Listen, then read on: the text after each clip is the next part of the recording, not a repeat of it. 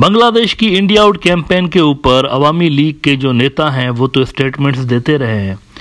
लेकिन पिछले दिनों शेख हसीना साहिबा ने पहली मरतबा इस कैंपेन के ऊपर बात की और साड़ियों के बारे में उन्होंने बात की कि अगर बीएनपी वाले सीरियस हैं इस कैंपेन के हवाले से तो पहले अपने आ, वो ख़वातीन को बोलें अपनी लेडीज़ को बोलें बीएनपी वाले कि वो इंडिया की साड़ियाँ यूज़ करना बंद कर दें।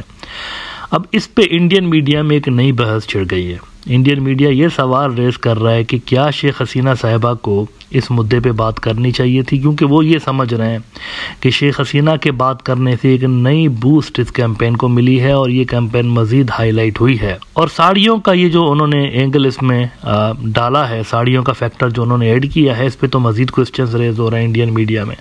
क्योंकि साड़ियों को लेकर आपको याद होगा पिछले दिनों भी बांग्लादेश और इंडिया के दरमियान एक किटपिट हुई थी तू तू में, हुई थी। वो यूँ कि बांग्लादेश का एक डिस्ट्रिक्ट है, तंगेली जिसको कहते हैं। अब तंगेली डिस्ट्रिक्ट के अंदर ज़बरदस्त किस्म की साड़ियाँ बनती हैं, जिसको तंगेली साड़ियाँ बोलते हैं। और दुनिया भर में मशहूर हैं, दुनिया भर में मशहूर हैं। ख़ास तौर पर हमारे रीजन में जहाँ सब कॉन्टिनेंट के अंदर साड़ियाँ, ख़वातीन पहनती हैं तो वहाँ पर तो ख़ास तौर पर मशहूर हैं ये। तो इंडिया ने हरकत ये की थी पिछले दिनों के तंगेली साड़ियों का जी नंबर जो है उन्होंने दे दिया था वेस्ट बंगाल को। अब इस पे बांग्लादेश ने एहतजाज किया कि अगर एक चीज़ हमारे ओरिजन की है, हमारा हमारा एरिया है ना तंगेली रीजन हमारा है, तंगेली डिस्ट्रिक्ट जहाँ पर ये सारी बन रही होती हैं। तो आपने अपनी तरफ़ इनको क्यों इसको जीआई नंबर दे दिया? जियोग्राफिकल आइडेंटिफिकेशन नंबर असल में हर प्रोडक्ट का अलग अलग होता है। ख़ासतौर पर जो एक्सपोर्ट हो रही होती हैं चीज़ें तो जीआई नंबर उसमें मैटर करता है। तो इंडिया ने इसका जीआई नंबर जो है वो वेस्ट बंगाल को एलोकेट करने की कोशिश की थी इस प्रोडक्ट का। वैसे ये कोई बांग्लादेश के साथ नहीं हो रहा पाकिस्तान के साथ भी होता रहता है। कई सारी चावलों की वैरायटीज़ ऐसी हैं पाकिस्तान के अंदर जिसको इंडिया ने अपना प्रोडक्ट डिक्लेयर करने की कोशिश की थी। इसी तरह से आम जो है ना मैंगोस उनकी कई सारी वैरायटीज़ ऐसी हैं जिनको इंडिया ने अपना प्रोडक्ट डिक्लेयर करने की कोशिश की थी, लेकिन वो फेल रहे थे उसके अंदर भी। यहाँ पर भी साड़ियों के मामले में ऐसा ही हुआ था। तो इंडियन एक्सपर्ट्स कह रहे हैं कि पिछले दिनों साड़ियों को लेकर ही विवाद हमारे यहाँ क्रिएट हुआ इंडिया और बांग्लादेश के दरमियान। और अब दोबारा से शेख हसीना साड़ियों की ही बात कर रही हैं तो इसका क्या ये मतलब है कि वो कोई इंडिकेशन दे रही हैं इंडिया को?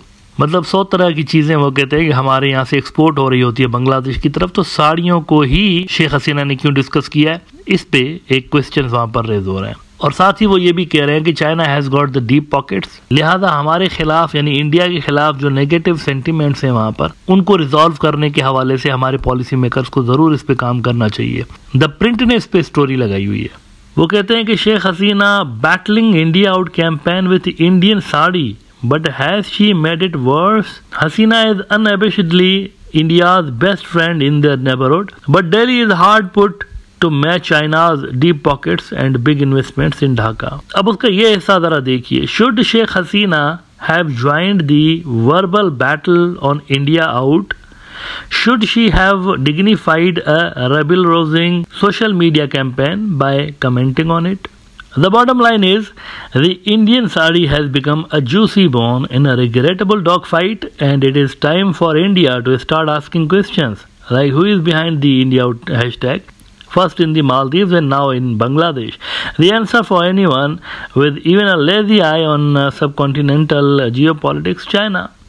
मतलब वो इसमें भी चाइना का एंगल फाइंड आउट करने की कोशिश कर रहे हैं कि शायद यहाँ पर भी चाइना होगा, क्योंकि मालदीव्स में चाइना था। अब मालदीव्स के अंदर भी इंडिया सर्टनली नहीं कह सकता कि चाइना था इसके पीछे, क्योंकि देखिए, चाइना किस तरह से, आप मुझे बताएँ किस तरह से हेल्प की उन्होंने। इंडिया आउट कैंपेन के नतीजे में अगर वहाँ पर गवर्नमेंट चेंज हुई है तो ये कैसे कहा जा सकता है कि ये चाइना ने की है? क्योंकि चाइनीज़ जाकर तो वोट नहीं डाल रहे थे ना मालदीव के इलेक्शंस के अंदर। वोट तो लोग डाल रहे थे वहाँ के। पब्लिक ने वोट डाला ना, और इतने ट्रांसपेरेंट इलेक्शंस हुए हैं कि अपोजिशन पार्टियों ने भी कंप्लेन नहीं की उस पर कोई रिगिंग हुई है या अनफेयर इलेक्शंस हुए, ऐसा तो नहीं कहा उन्होंने। ये लोगों ने वोट डाला है, और अपोजिशन पार्टियाँ इस वक्त जो हैं, जो कि हार गई थी इलेक्शंस उन्होंने रिजल्ट्स को एक्सेप्ट भी किया। उन्होंने खुले दिल से एक्सेप्ट किया, अपनी शिकस्त को तस्लीम किया। इसका मतलब है कि फेयर इलेक्शंस थे। तो चाइना का एंगल हम कैसे इसमें घुसेड़ सकते हैं? जस्ट बिकॉज़ इंडिया आउट है तो ये कैसे अज्यूम किया जाए कि चाइना चाइना ही था इसके पीछे। ये क्यों नहीं एज्यूम किया जा रहा कि इंडिया की गलत पॉलिसीज़ थी इसके पीछे? और ये बांग्लादेश के अंदर भी क्यों नहीं आ, इंडियन पॉलिसी मेकर मानने को तैयार कि इंडिया की गलत पॉलिसीज़ हैं बेसिकली चाइना नहीं है इसके पीछे। मेरे ख्याल से थोड़ा सा इस एंगल से भी उनको देखने की ज़रूरत है। लेकिन यहाँ पर मैं आपको एक नई डेवलपमेंट बता दूँ नई अपडेट बता दूँ। ये जो इंडिया आउट कैंपेन वहाँ पर चल रही है उसके मुख्तलिफ़ फैक्टर्स हैं। उनमें से एक फैक्टर हम जो बात करते हैं वो इंडिया और बांग्लादेश के दरमियान मैसिव ट्रेड गैप की हम बात कर रहे होते हैं। कि इंडिया आउट कैंपेन जो लोग रन कर रहे हैं, वो कहते हैं कि हमारे और इनके दरमियान ट्रेड गैप बहुत बढ़ा हुआ है। यानी हमारी एक्सपोर्ट जो है इंडिया की तरफ़ बहुत कम होती है और गैर ज़रूरी चीज़ें गैर ज़रूरी चीज़ें, जिनकी हमें ज़रूरत भी नहीं होती, हम वो इम्पोर्ट कर रहे होते हैं यहाँ पर। तो इस हवाले से मैं आपको बता दूँ कि नई जो डेटा आ रही है, बांग्लादेश की एक्सपोर्ट इंडिया की तरफ़ जो हो रही होती है, वो नई डेटा ये बता रही है कि इलेक्शंस तक, यानी इलेक्शंस के एक महीने बाद फेबरवरी गुजशत महीने तक की डेटा बता रही है कि मज़ीद श्रिंक हुई है बांग्लादेश की एक्सपोर्ट इंडिया की तरफ़। मज़ीद श्रिंक हुई है। यानी इंडिया की तरफ़ बढ़ी तो नहीं है, वो जो एक्सपोर्ट है बांग्लादेश की, वो बढ़ी नहीं है, मज़ीद कम हो गई है। डेटा ये बता रही है कि जुलाई 2023 से लेकर फेबरवरी 2024 तक जो बांग्लादेश की एक्सपोर्ट इंडिया को हुई है, वो हुई है एक सौ सत्ताईस करोड़ डॉलर्स की। अब ये जो फिगर है ना, ये basically sixteen point five percent कम है। क्योंकि इसी अरसे के दौरान, ये जो जुलाई से लेकर फरवरी 2022-23 की जो डेटा थी, वो 153 करोड़ डॉलर्स थी। इस वक्त हुई है 127 करोड़ डॉलर्स यानी श्रिंक हुई है। तो यहाँ पर मजीद प्रॉब्लम्स आप देखिए, बढ़ते चले जा रहे हैं। अच्छा इंडिया आउट कैंपेन के बाद क्या असर पड़ा है? इंपोर्ट के ऊपर, इसकी डेटा फ़िलहाल नहीं आई। इलेक्शंस के बाद कितनी एक्सपोर्ट हुई है, अभी जब ये डेटा आएगी तो उस पर बात करेंगे। फ़िलहाल इम्पोर्ट की डेटा आई हुई है। और इम्पोर्ट की ये जो मैंने आपको डेटा बताई है, ये एक्सपोर्ट प्रमोशन ब्यूरो की मैंने आपको डेटा बताई है। वो कहते हैं कि एक सौ तिरपन करोड़ डॉलर से नीचे आके एक सौ सत्ताईस करोड़ डॉलर पे बांग्लादेश की एक्सपोर्ट इंडिया की तरफ़ गई है, यानी श्रिंक हुई है। तो प्रॉब्लम्स रिजॉल्व नहीं हो रहे प्रॉब्लम्स बढ़ रहे हैं। ट्रेड गैप मजीद बढ़ रहा है। इंडिया और बांग्लादेश के दरमियान ये बढ़ रहा है गैप बढ़ इस सेंस में रहा है कि उनकी बांग्लादेश की जो एक्सपोर्ट है, वो मजीद डिक्लाइन हो गई है वहाँ पे। ना ये वो एरियाज़ हैं जहाँ पर इंडियन पॉलिसी मेकर्स को मेरे ख्याल से काम करने की ज़रूरत है। इनको समझना पड़ेगा कि ये अगेन एक गैप छोड़ रहे हैं। ये जो इस तरह से बांग्लादेश की एक्सपोर्ट डिक्लाइन हो रही है, इस वक्त वक्त ये है कि आप बांग्लादेश से ज़्यादा चीज़ें ख़रीदें, ताकि बांग्लादेश के जो ट्रेड इंटरेस्ट हैं, वो चाइना की बजाय आपसे ज़्यादा डीप हों। इसी तरह से असल में स्ट्रेटेजिक पार्टनरशिप्स गहरी होती हैं। आप अगर उनके और अपने दरमियान इस तरह से ट्रेड गैप बढ़ाते जाएँगे तो चाइनीज़ आके उसको फिल करेंगे डेफिनेटली फिल करेंगे। और ये जो 99 परसेंट गुड्स उन्होंने ड्यूटी फ्री कर दिए हुए हैं तो आपको क्या लगता है, ये क्यों कर रहे हैं चाइनीज़ इस तरह?